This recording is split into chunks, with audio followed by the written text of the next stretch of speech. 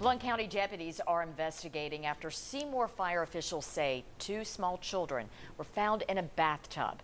The Seymour Volunteer Fire Department says the call came in around 2.30 from Greenfern Trail in Blount County. 10 News reporter Cole Sullivan joins us from the scene with new details about those children and their condition tonight. Cole.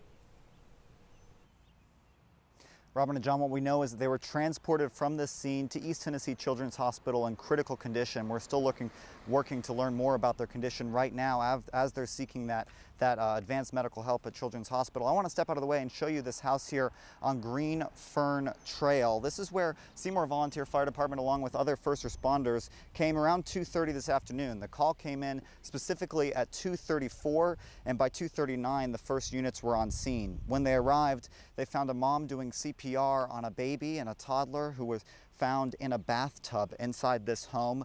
Right now, what you're seeing is Blount County Sheriff's Office deputies. They're still on scene conducting their investigation at this home. We're expecting to learn more very, very soon about what that investigation shows and how this happened. We're working to learn more both on those children's condition and on this investigation. And as we do, we'll bring it to you. Robin and John. All right, Cole, thanks for bringing us update today. We appreciate it.